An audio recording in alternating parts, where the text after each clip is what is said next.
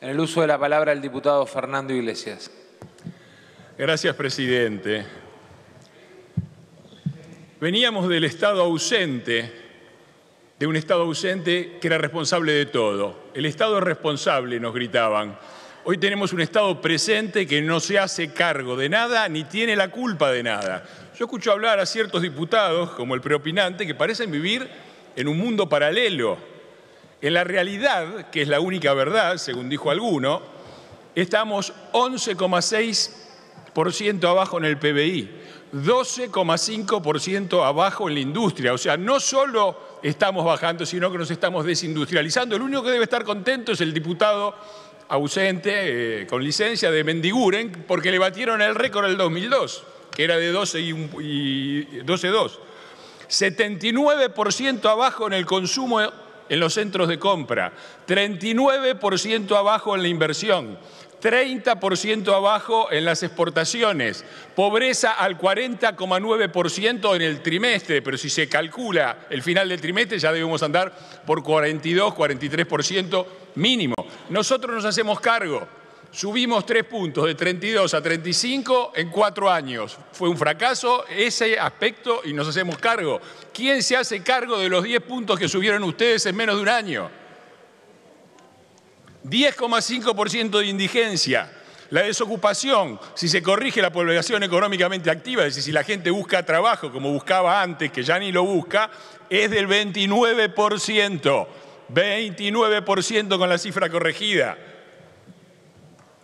Viven en un mundo paralelo, no se sabe de qué están hablando. ¿Qué dice el gobierno?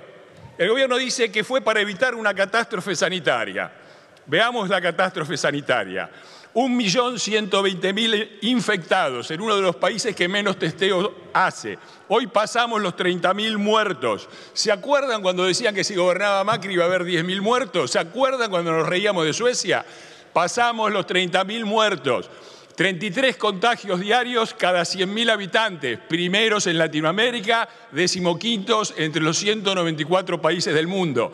7,13 muertos por millón, primeros en el mundo nos metieron en la catástrofe económica para evitar el desastre sanitario. Tenemos la catástrofe económica y el desastre sanitario, juntos. Fue la pandemia, dice el gobierno. No, no fue la pandemia. Datos de la CEPAL, no del FMI, de la CEPAL. La caída del PBI este año, ya la pasamos, pero según la CEPAL, 10,5%.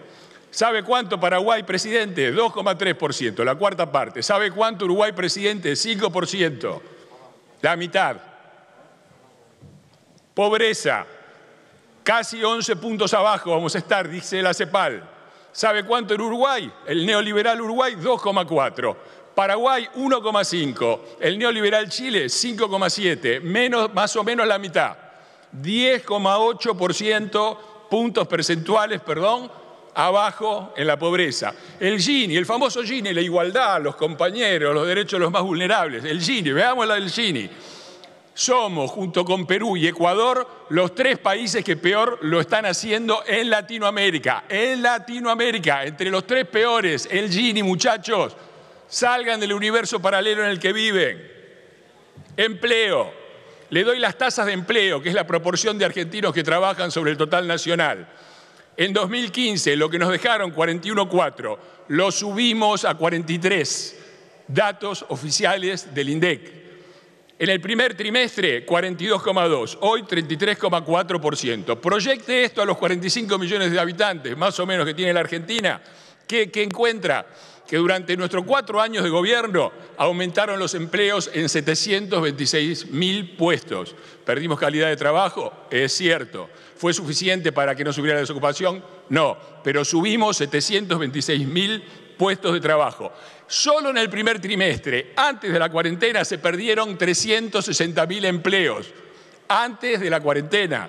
Y ahora, con la cuarentena más larga del mundo, 4 millones más récord nacional, récord histórico que bate absolutamente cualquier otra cifra y más que la duplica.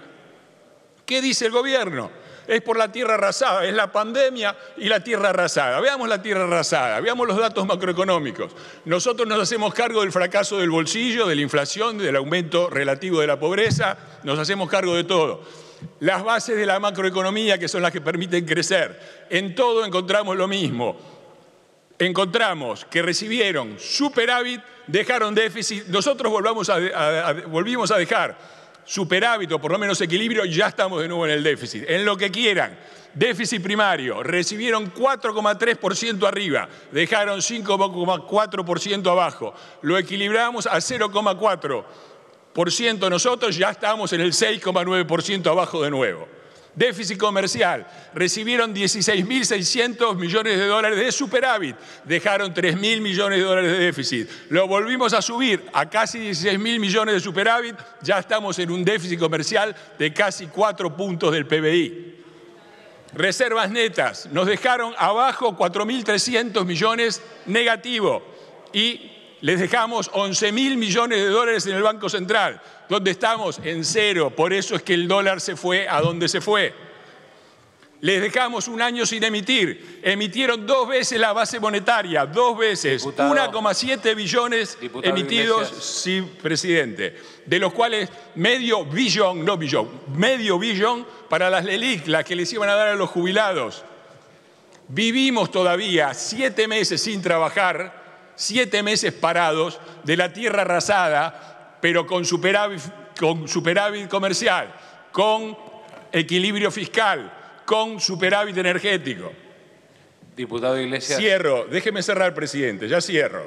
Señores, manejan el Poder Ejecutivo, la Cámara de Diputados, el Senado, casi todas las provincias, casi todos los medios, la CGT, los punteros barriales, los movimientos piqueteros, hasta el Papa manejan y hoy van a tener presupuesto porque van a tener los votos. Y pueden cambiar lo que quieran con ese decreto indecente que le permite al jefe de gabinete hacer lo que quiere con las partidas. Gobiernen, dejen de ocuparse de la impunidad de Cristina y de echarles la culpa a los demás. Funcionarios, funcionen. Presidente, presida, háganse cargo, solucionen algo porque empeoraron todo. Para eso los votaron. Gracias, señor presidente. Gracias, diputado Iglesias, en el uso de la...